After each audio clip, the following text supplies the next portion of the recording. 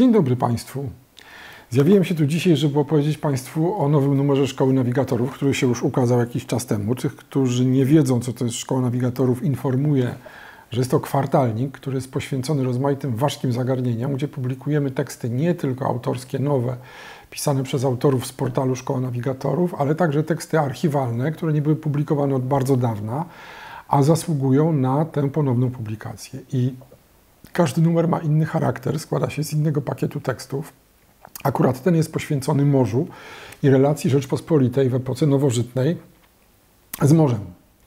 E, czyli jak się wszyscy domyślają, jest tu poruszona kwestia kaprów Zygmunta Augusta i jest poruszona e, bardzo dokładnie, albowiem, proszę Państwa, wydrukowaliśmy Tutaj zapomniane już całkowicie przed wojną wydane teksty Stanisława Bodniaka, takiego historyka z Poznania, który zajmował się Polską i morzem. E, pisał o komisji morskiej, o kaprach, e, o budowie portu w Pucku e, i innych szalenie istotnych rzeczach. Dlaczego ja w ogóle wpadłem na taki pomysł, żeby takie archiwalia udostępniać? Dlatego, proszę Państwa, że poziom publicystyki historycznej dzisiaj w Polsce jest gorzej niż nędzny. E, wszyscy, którzy nad tym płaczą, nic nie robią, żeby to zmienić, albowiem mówią, do tego potrzebne są pieniądze. Patrzą na przebogatą publicystykę historyczną na Zachodzie, e, która albo jest dotowana, albo nie, ja tego nie wiem, e, zaopatrzoną w przepiękne ilustracje, nad którymi pracują bardzo zdolni graficy i oni rozpaczają, że tego nie ma w Polsce. Proszę Państwa, no nie ma bo nie ma takiej potrzeby. Gdyby ta potrzeba była, to to by było. Natomiast dlaczego nie ma takiej potrzeby? Dlatego, że cała publicystyka historyczna w Polsce jest załatwiana przez emocje. I chodzi o to, żeby sobie zaaplikować jakiś pakiet emocji, a następnie telepać się od tego przez y, pół godziny i to jest ta frajda. No więc my nie idziemy tą drogą. Idziemy zupełnie inną drogą. Yy, mamy grafików, ale nie stać nas na takie ekstrawagancje jak yy, periodyki niemieckie czy brytyjskie przedstawiające yy, szczegółowe ilustracje do życia żołnierzy w dawnych epokach. Dlatego Mamy teksty archiwalne, mamy teksty autorskie, mamy piękne okładki, które projektuje Tomasz Bereźnicki albo Juliusz Norowski, to zależnie. I które mówią o tym, że polska historiografia to jest jednak kopalnia złota. Tylko trzeba się do tego przyłożyć i trzeba pamiętać, że to, co dzisiaj, e, to nie jest szczyt możliwości. Że ten szczyt e, minął po prostu, ten, ten punkt, punkt kulminacyjny gdzieś tam kiedyś był i i żeśmy go minęli, a dzisiaj niestety gonimy za jakimiś zasięgami, bo mamy media elektroniczne i każdy chce zabłysnąć w tych mediach i powiedzieć jak najwięcej rewelacji, przeważnie głupich.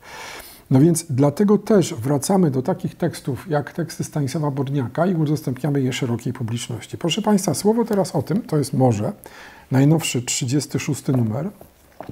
Następny 37 będzie poświęcony Łużycom. Dlaczego Łużycą? No to jest region, proszę Państwa, który jest istotny z racji tego, że on znajduje się dzisiaj w Polsce. Związki Łużyc e, z Polską e, są problematyczne i każdy chętnie e, te związki podważa. No, no więc my wydamy taki numer, żeby te tendencje odwrócić. To znaczy, gdzie będą pamiętniki Polaków, którzy po Łużycach podróżowali, którzy zostawili wiele refleksji dotyczących tego regionu. E, będą tam reportaże, będzie tam kawał historii bardzo zaskakującej, e, dotyczącej poszczególnych miast łużyckich, których dzisiaj nie kojarzy z miastami łużyckimi, bo to dla współczesnych Polaków są to po prostu miasta Dolnego Śląska albo ziemi lubuskiej. Ziemia lubuska jest w ogóle jakąś fikcją, to są, e, to są Dolne Łużyce, Śląski, kawałek Pomorza. Mm, natomiast yy, Górne Łużyce to, to jest dzisiejsze województwo dolnośląskie. Oprócz tego będzie trochę tekstów również zaskakujących, dotyczących, dotyczących yy, flory i fauny Łużyc, która jest no, więcej niż ciekawa. Yy, Bory dolnośląskie nad Kwisą i inne jeszcze historie. Także proszę Państwa, to będzie 37 numer. Ja szczerze Państwa do lektury już dzisiaj zachęcam. Mam nadzieję, że on się ukaże punktualnie, czyli we wrześniu, raczej w drugiej połowie niż pierwszej i będziemy tę naszą drogę z kwartalnikami Szkoła Nawigatorów e, kontynuować, bo ja przygotowuję już kolejne numery, które będą też dosyć zaskakujące. Bardzo Państwu dziękuję. Do widzenia. Do usłyszenia.